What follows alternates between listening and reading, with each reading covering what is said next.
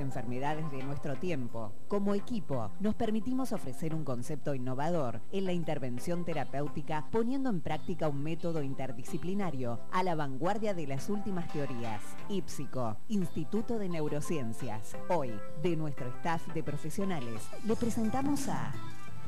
Hoy lo presentamos al licenciado Santiago Pistone, que lo tenemos vía Skype, como hemos venido haciendo con los profesionales de IPSICO en este último tiempo. Eh, licenciado Pistone, lo saludamos, ¿cómo le va? Muy buenos días. ¿Qué, tal? Buen día, ¿cómo andan? Muy bien, gracias por, por atendernos. Eh, licenciado, bueno, y vamos a hablar de, temas que a la gente preocupa y ocupa mucho en este tema, eh, en este marco de la pandemia, y uno tiene que ver justamente con el tema del aislamiento y casos de ataques de pánico que se han ido dando. ¿Por qué no nos contás un poco, bueno, a partir de la experiencia y también de las consultas, me imagino, que habrán recibido? Eh, sí, es un fenómeno que, está pasando, más allá de la población que ya venía con ataques de pánico, eh, que la imposibilidad de salir, o básicamente la gente que tiene ansiedad o pánico, lo, que el tema central es el control, entre, otros, así que eso aumenta. Y después lo que ha habido son crisis de angustia, ¿sí? por, poder, eh, por no poder salir o por preocupaciones, ¿sí? por toda la situación que está generando el aislamiento. Eh, que ahora, bueno, con la noticia de ayer, que van a, dar un poquito más de, libertad, eh, eso también eh, puede dar un poco más de oxígeno psíquico, ¿sí? Em, em, así que bueno, hay que ver cómo se van desarrollando las cosas. Correcto. Cuando hablamos de crisis de angustia, básicamente, ¿cómo la podemos definir? ¿Cómo nos damos cuenta que realmente es una crisis?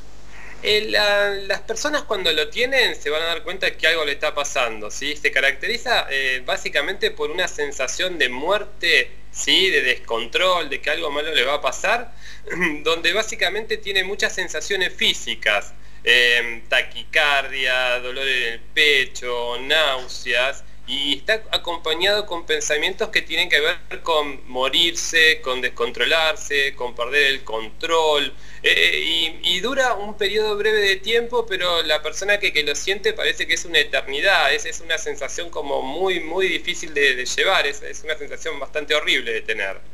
Eh, sí, lo que es importante y uno siempre les va a decir a las personas que lo sufren es que no es peligroso, o sea, que, que es solo una emoción que va a durar un periodo breve de tiempo, pero que su vida no está en riesgo. Correcto, si bien hay, digamos, algunas eh, razones que de alguna manera deberían ser preocupantes para la gran mayoría, como es esto que estamos atravesando y cómo se sale de esto, evidentemente aquí lo, grave es cuando, eh, bueno, esa lógica se pasa de largo, ¿no?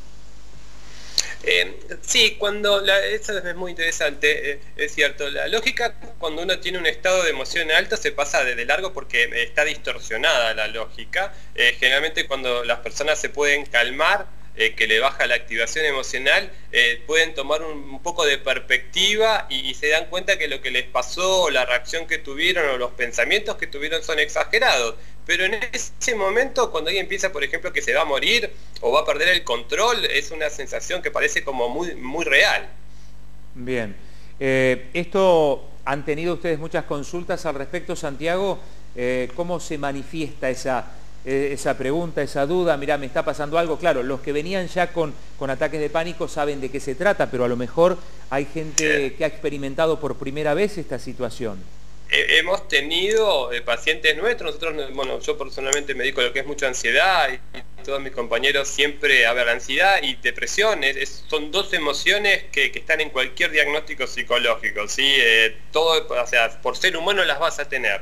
Eh, básicamente. Los, ansiosos en estos cuarenta y pico de días han tenido episodios, los que vienen en tratamiento más o menos conocen un poco de qué se trata, ¿sí? Em, eh, entonces, bueno, por lo menos no les toma como novedad, pero sí les genera mucho malestar. Y después hay personas que no han sido pacientes, que por la misma situación y por mecanismos de afrontamiento de ellos han tenido crisis de angustia. Crisis de angustia puede ser desde un ataque de pánico puntual, a ver, un ataque de pánico lo puede tener cualquier persona.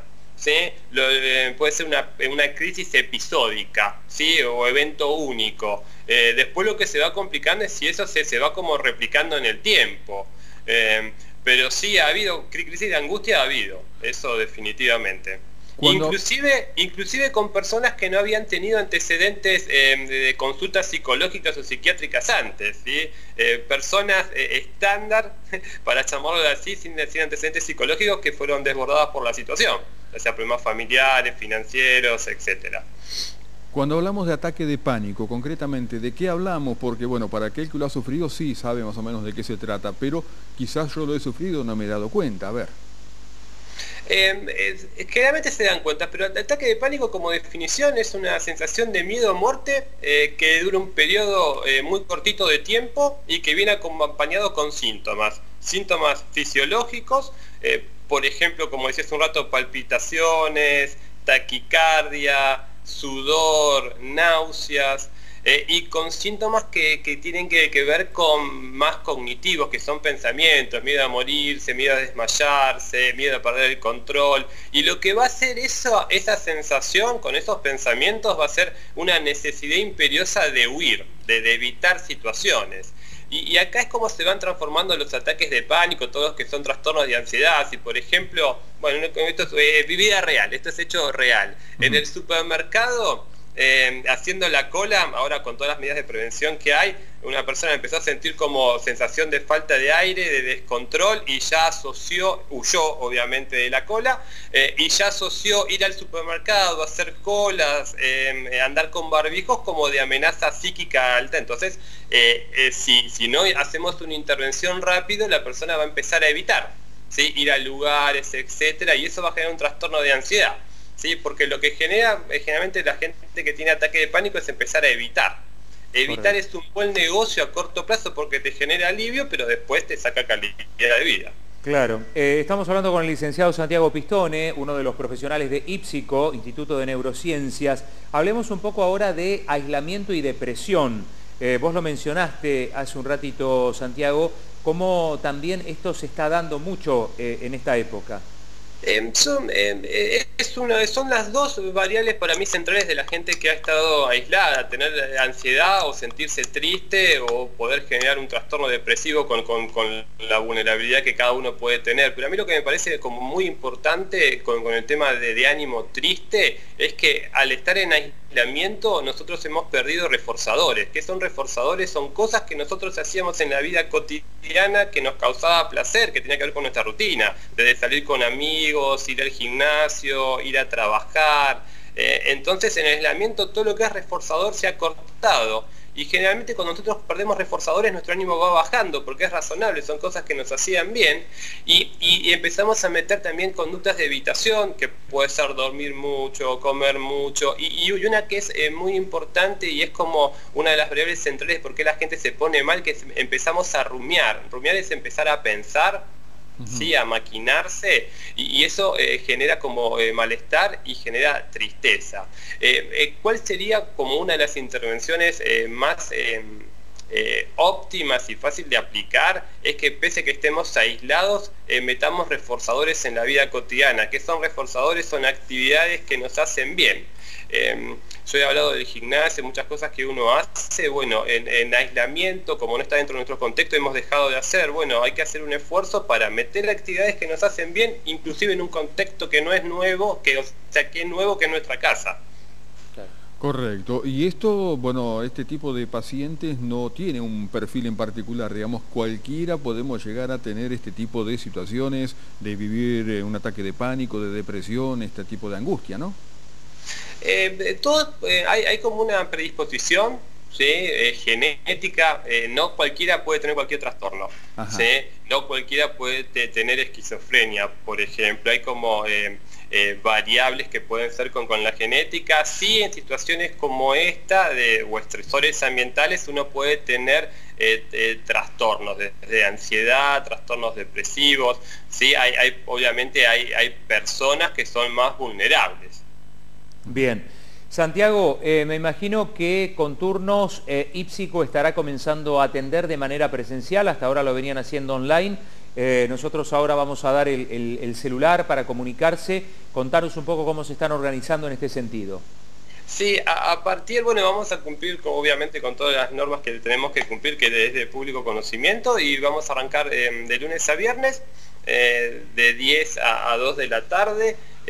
Con el tema de las secretarias y, con bueno, turnos previos, eh, cada paciente se comunicará eh, con su eh, respectivo profesional y, las personas tienen que llamar en los horarios que salen por los medios de, de comunicación, el teléfono, eh, de 10 a 2 de la tarde vamos a estar. Perfecto, ahora nosotros, eh, en lugar de hacer el cierre que hacemos habitualmente, vamos a cerrar nosotros nomás recordando el celular para que se comuniquen con la secretaria de 10 a 14, esto es importante. Seguramente en, ese mismo celular, Santiago, se podrá dejar un WhatsApp eh, fuera del horario para que la secretaria dentro del horario de 10 a 14 se lo responda.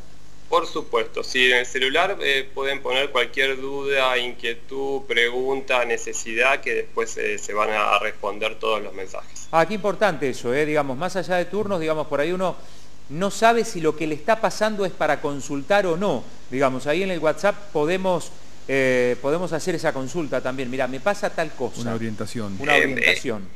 Es, multiconsulta el WhatsApp. El WhatsApp es una herramienta eh, que más ahora en la pandemia cosas se, se, ha como expandido de una forma muy muy fuerte. Pero bueno, no, no solo la gente se llama para coordinar turnos, te, te hacen preguntas, recetas. Eh, cada uno va a saber para qué le sirve y va a ser la llamada pertinente. Está eh, bueno.